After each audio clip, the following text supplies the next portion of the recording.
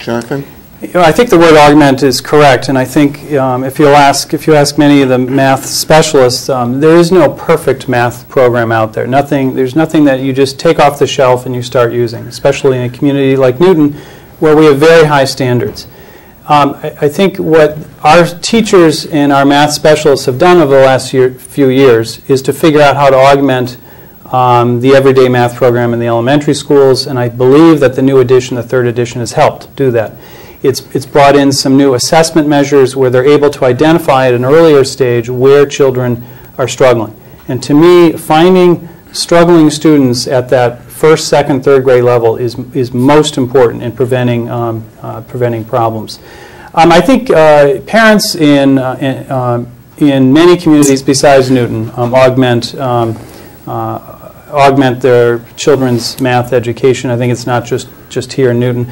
Um, I would like there to be a more comprehensive study um, of not only the math curriculum, but also the percentage of students who are um, taking additional math tutoring outside of the schools. I think it's important uh, for us to do that, and I think that um, uh, there's staff um, at Newton um, South, as well as some activists on the issue who are looking into figuring out designing such a study. I think we need to do that. Do, do you think, and this is just an aside, but do you think if you were uh, a math teacher in the, in the public schools or if you were the math curriculum coordinator, would you feel you're, you're losing to your competition if, if people are, are paying their hard-earned money to tutor their kids outside of school? I mean, I would feel like I'm somehow Yeah. failing, you know?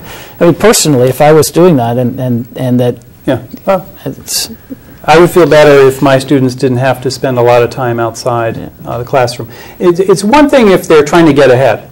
know, And if they're trying to jump several levels, we have many students here in Newton who are actually um, several years ahead um, of even an advanced math program. We have kids from our middle schools taking high school math. We have many high school kids who are taking uh, advanced college math.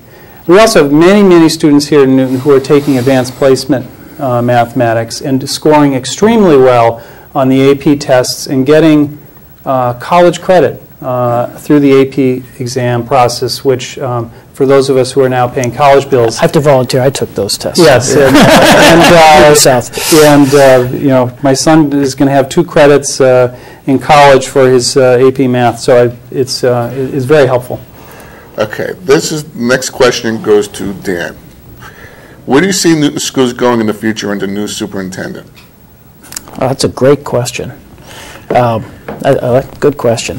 Uh, I, I'd like to see the Newton schools continue uh, continue to grow, continue to be excellent. I think, unfortunately, there's a little bit of um, I'd say repairing some of the past neglect that we've had, especially in the physical plant, that has to be done. I think the new superintendent is going to be challenged in helping us to work through that process, and the new school committee as well, obviously, will be challenged in helping us as a community work through that process because there will be tough trade-offs. Uh, And I think that's going to impact the city side as well because of the, the magnitude of the physical plant issues. The same problem exists on the city side. And so we'll have to continue to trade that off. And we, we've sunk an enormous amount of, of our investment, our available investment money into Newton North. So uh, I want to see the, the schools continue to be excellent. I'd like to see some of the basic fundamental problems addressed. The cost structure imbalance problem has to be addressed. I think there has to be some more uh, open measurement put in place. So if we were able to have a stronger set of goals and measures and objectives, if we were able to solve the, uh, the financial challenge that we have and make progress on the physical plant, I think that that superintendent would have had a very successful tenure. I assume you're talking about the permanent superintendent. That might be a little bit, uh, a little bit of a reach for Dr. Marini to tackle in one or two years. Well, uh, I think it's very helpful that we do have Dr. Marini here for one year. Um, I I led the, uh, the search committee to, to bring him back here to Newton to finish out his career.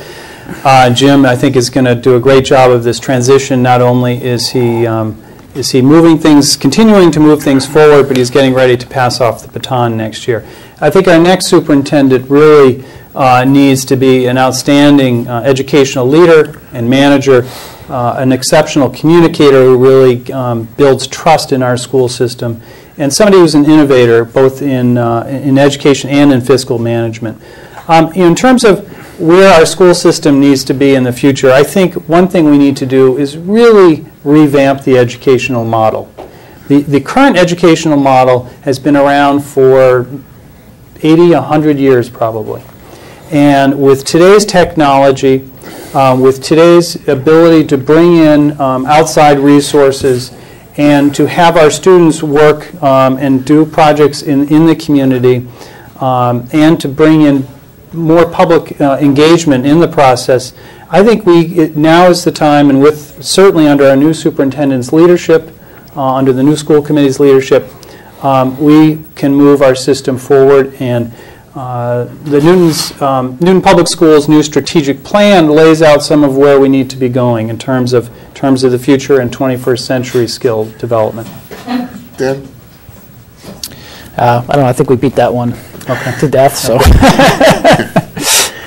Okay, this next goes to, so you don't have any, re- any? No, that's, that's fine. Okay, this next question goes to Jonathan. If there was a, time, we got just a couple minutes to Okay, go. I'll real quick. If there was a target cap of 350 students at each elementary school, what would your recommendation be um, and how to approach the long-term facility strategy for elementary schools? Okay. Um, Newton has probably the smallest uh, elementary schools um, in eastern Massachusetts. We average about 366 kids for elementary schools. Um, Many other school districts are well over 400. We're running very small schools, which to me is wonderful, and I would like to continue that. Uh, The question is, if we had capped it at 350, how would we How deal would with it? you go about bringing in those other kids? Yeah. Well, you're going to have to move the kids uh, from the schools that are over 400. We have s- two schools, um, three schools now that are, you know, in the 450 and above range, which to me is definitely on the little bit too big side there. They would have to either be redistricted or moved.